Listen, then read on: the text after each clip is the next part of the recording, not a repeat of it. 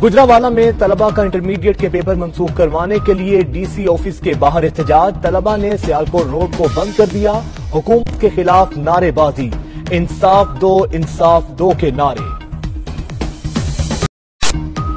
गुजरावाला में तलबा का इंटरमीडिएट के पेपर मंसूख करवाने के लिए डीसी ऑफ़िस के बाहर एहतजाज। तलबा ने सियालकोट रोड को बंद कर दिया। हुकूमत के खिलाफ नारेबाजी। इंसाफ दो इंसाफ दो के नारे।